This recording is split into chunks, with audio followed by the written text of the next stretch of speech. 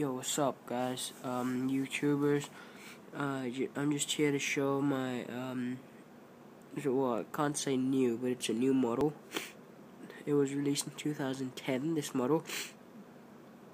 Um, it's a original G-Shock. Uh, you can tell if it's original, um, only if it has the G-Shock sign here. Yeah, mine's G Casio Thailand because um, I bought mine in Thailand. Um, this is autumn. This is awesome, guys. Check this out. Um, I just turn off my light. Make that a bit dark. More than 40 degrees. It's automatic light. Check this out. There we go. Oh shit. Uh, try that again. Oops. Um, there we go. You move it more than 40. Um, this is flat. Okay, guys. 40 degrees. It lights up automatically. This is awesome. Um, this is an awesome watch, guys. Um, I've been wearing it for about over a year. Just about over a year. Um, it's original. As you can see in the black back painting. Um, since steel back Japan. Um, cased in Thailand and water resistant 20 barometer. That's quite a lot. It has the buttons on the side.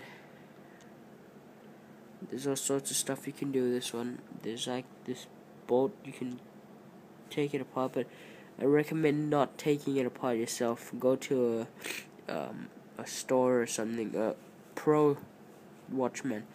Um, yeah, that's about it.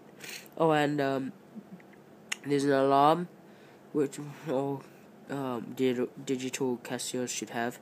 Um, a auto light, which is the one I showed you. You just tip and the light just comes on, like that. Um, the sig, sig is just signal alarm crap. You don't need to worry worry about that. It's just every hour it just goes beep beep. So yeah. Um. Wait, I just show you guys some stuff. So this is how it will come and you'll see it like this. It has a lot of functions guys. This is the uh, wait, let me get back to you. This is a stopwatch. You click it, you click this bit, this one, forward, or it says inside somewhere here um start or stop yeah you click it it starts then this one when you click it again it will just start spinning which is awesome and to reset it click the adjust or it says here um reset there we go there right there reset and then it just resets it any more questions about G-Shocks, ask me. I'm a pro about this stuff. But don't send me G-Shocks to fix because I have no idea how to fix G-Shocks. I only know if they're fake, uh, real, or anything about them, what to press and to do this and that. Yeah. So, this is my G-Shock. Uh, thanks for watching. Peace out, guys.